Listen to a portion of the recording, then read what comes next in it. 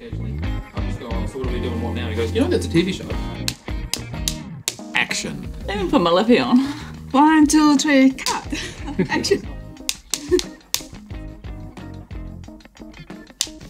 I don't know what it is, but if you work at Westland, something about it is going to make you determined to be good at your job and care about your job.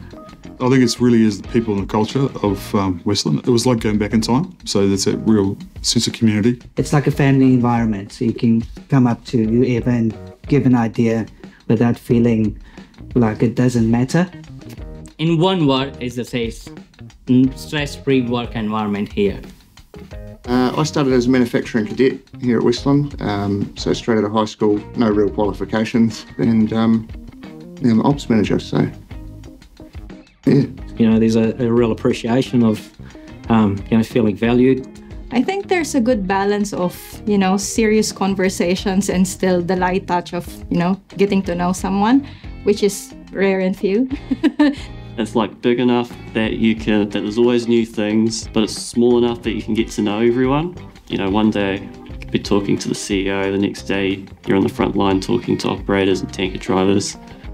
I think we're that little kind of sleeper company. I don't think people really understand how much of a global presence we have, how much revenue we generate, what our brands are doing, and in different markets around the world. The West Westgold brand, I see that on the shelves in the supermarkets. See, it gives me a real sense of pride. It's such an awesome company that's from the coast, which for me is home. You know, it puts us on the world stage to a degree as well. So, you know, I'm going to be proud of what we're doing because it's going all over the world in one workplace, you have got so many different careers and so many different options. And so you might start in a role that is not necessarily what you want to do, which is why I think it's so great for a young person starting out. If you want to change careers, you don't actually have to change companies, you can actually stay put. And everyone's there to help each other, that's probably the big thing, yeah.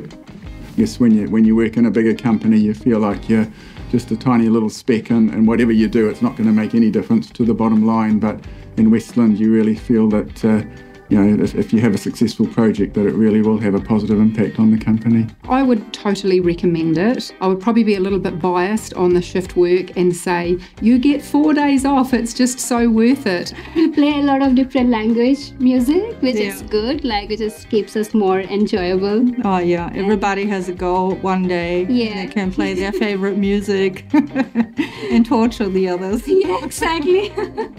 Do it. Yeah, yeah. Work for Westland. Definitely. Yeah, great place to be. Come along, join the team.